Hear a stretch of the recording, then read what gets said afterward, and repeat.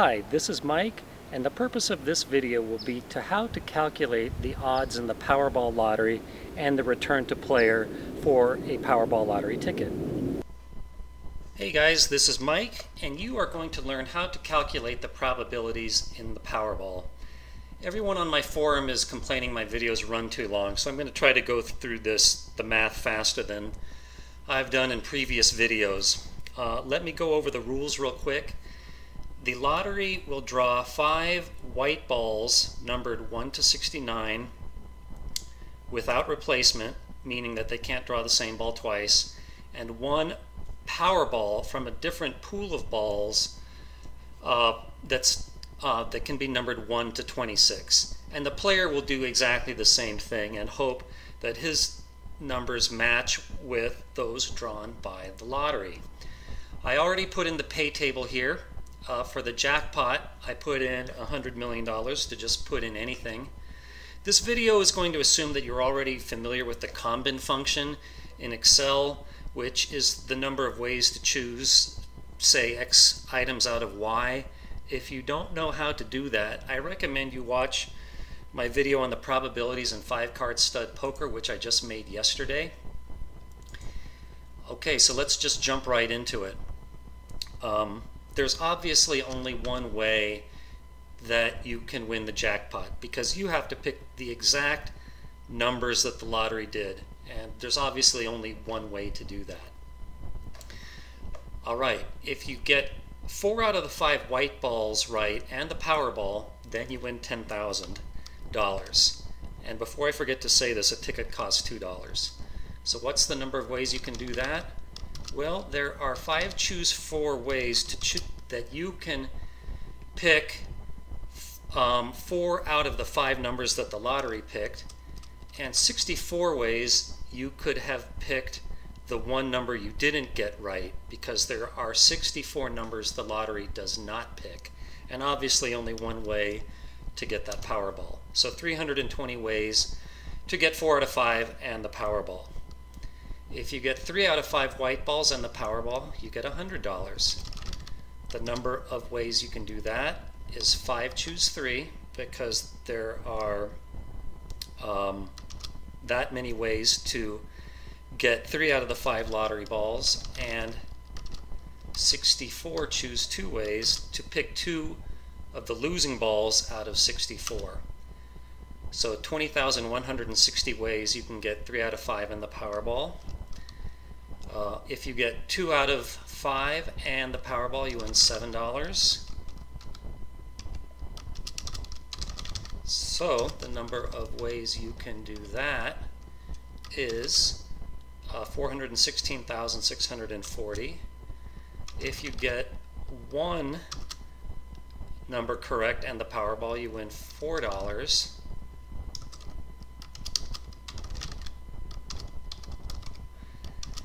And there are about 3.2 million ways you can do that. And the number, and if you get no white balls correct, but you do get the Powerball, then you win $4. So if you get the Powerball, you always win at least something. So the number of ways to pick five numbers out of the 64 the lottery did not pick is about 7.6 million. Okay, now let's look at the combinations if you didn't get the Powerball. Those are going to be simply 25 times the number of combinations if you did pick the Powerball because the lottery will pick just one Powerball, meaning that there are 25 numbers in the Powerball bin that didn't get picked. So if you didn't get the Powerball, there's 25 ways you could not have picked it. So let's just multiply all these um, combinations we just did by 25. So you can see that the total number of combinations is 292,201,338. That is the same number that you often hear bandied around in the media as the probability of winning, meaning 1 in that 292 million figure. To calculate the expected return of your lottery ticket. Let's look at, let's calculate the probability of any given prize, which is the number of combinations divided by the total combinations. And now let's look at the expected return of any given prize, which is the probability of winning times the prize itself. And do that for every possible event.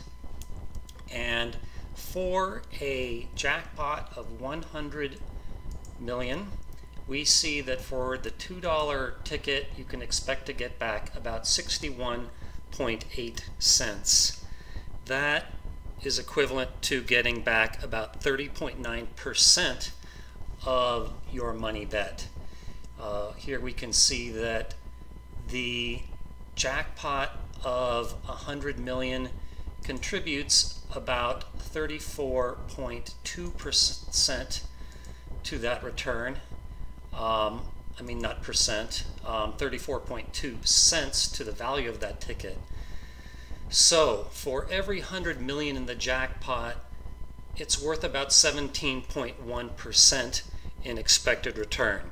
Now before people say this in the comments, this does not consider three very important things. Number one, if you hit the jackpot, it gets paid in an annuity, or you can take the lump sum option, which is 61% of that jackpot.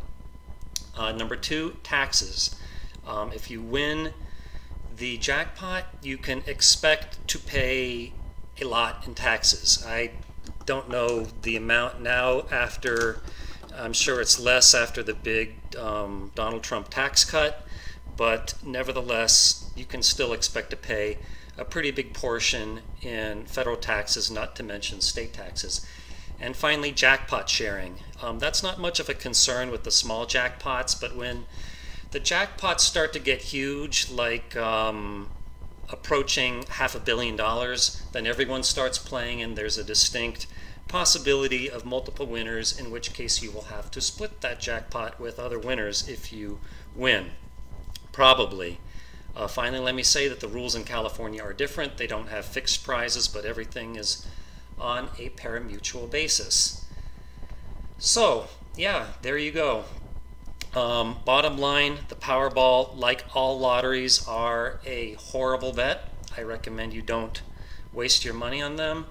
Uh, for more information about the Powerball, I have a great deal of information on it on my website, Wizard of Odds, a whole section on the Powerball.